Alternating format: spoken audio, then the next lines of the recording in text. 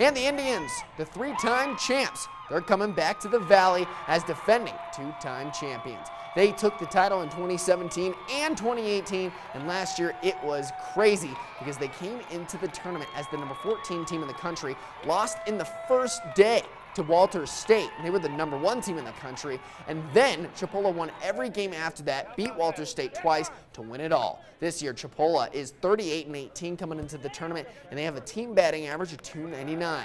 The stats, they're not eye-popping this year, but you can never rule out Jeff Johnson and the Indians. They returned four players from last year's World Series winning roster. And there have only been two teams that have won the JUCO World Series three years in a row.